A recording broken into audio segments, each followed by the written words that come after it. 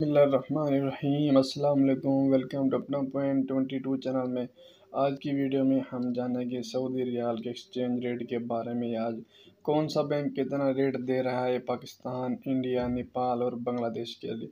Video last तक देखनी है ताकि कोई भी बैंक का रेट आपसे मिस ना हो जाए। हमारी कोशिश है कि आपका एक एक रियाल बच जाए और आज आपको अच्छा रेट मिल जाए पैसे भेजने के लिए।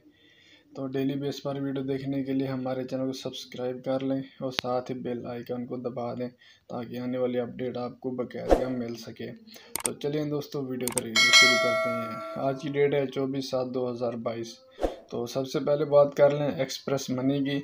तो पाकिस्तान में दे रहा है उनाठ रुपये पचहत्तर पैसे, इंडिया में दे रहा है बीस रुपये अठहत्तर पैसे बांग्लादेश में दे रहा है चौबीस टके नब्बे पैसे नेपाल में दे रहा है तैंतीस रुपये और पचपन पैसे।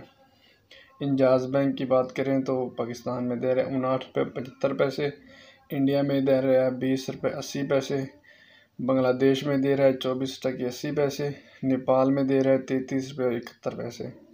अलराजी बैंक की बात करें तो पाकिस्तान में दे रहा है उनाठ रुपये इक्यावन पैसे, इंडिया में दे रहा है बीस रुपये सत्तर पैसे, बांग्लादेश में दे रहा है चौबीस टके पचहत्तर पैसे नेपाल में दे रहा है तैंतीस रुपये अठासठ पैसे। वेस्टर्न यूनियन की बात करें तो पाकिस्तान में दे रहा है उनाठ रुपये इक्यावन पैसे, इंडिया में दे रहा है बीस रुपये चौंसठ पैसे, बांग्लादेश में दे रहा है चौबीस टके इक्यावन पैसे, नेपाल में दे रहा है तैंतीस रुपये और बासठ पैसे।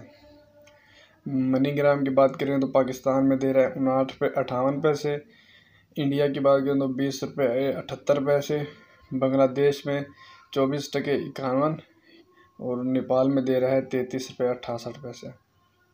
तो आज की इतनी सी वीडियो सी दोस्तों, अगर वीडियो अच्छी लगी हो तो हमारे चैनल को सब्सक्राइब कर लें और साथ ही बेल आइकन को लाजमी प्रेस कर दें।